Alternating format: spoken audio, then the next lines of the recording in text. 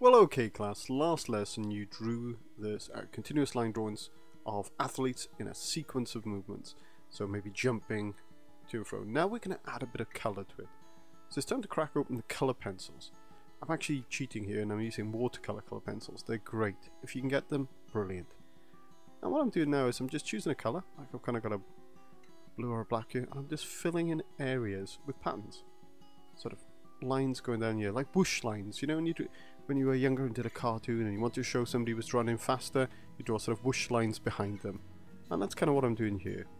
And I just block them in in patterns. Okay, so, uh, now I'm going to choose a different color pen. I'm going for a green to mirror the green felt tip pen that I drew my uh, one of my figures in here. I'm just choosing certain areas to do shading. So quick dark to light shading in these areas here. I draw little indicators around there. Not going to go too far from the body because I want these greens to have an echo, you know, an echo with the figure that's green rather than just being everywhere. So that's sort of echoing the leg kicking up. Changing my pen again now, and it's a kind of ready orange to go with the, the ready orange felt tip that I drew the first figure with there. So I'm just taking areas and I'm shading them in. I'm actually doing some tonal work here, going sort of slightly dark from to light. You can see it there.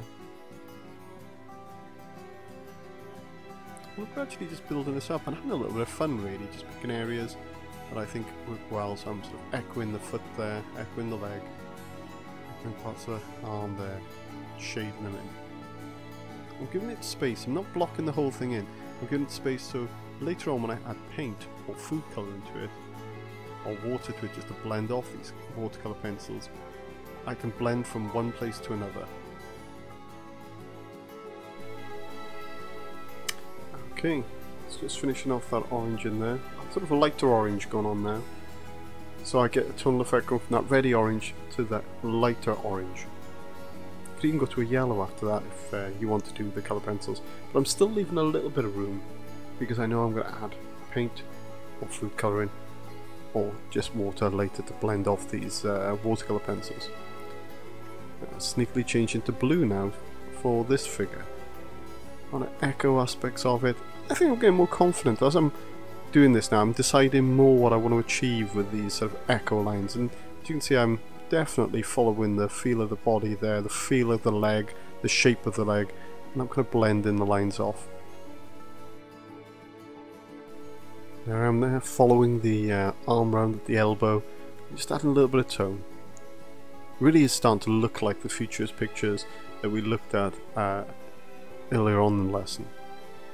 Just again, blending in areas inside but leaving gaps so I can blend those colours together or add another colour if I chose. Notice at the moment I'm working pretty much all in the background, so I'm not trying my best not to overlap the actual figures themselves, so at the moment, all these colours that I'm putting in are background based. And some shading here, look at the gaps I'm leaving there so I can blend them into each other. Well I've really enjoyed this. Adding bits here and there just to create these patterns in the background. And I can't wait to add more colour to the next lesson with the paint. So, over to you now. Good luck.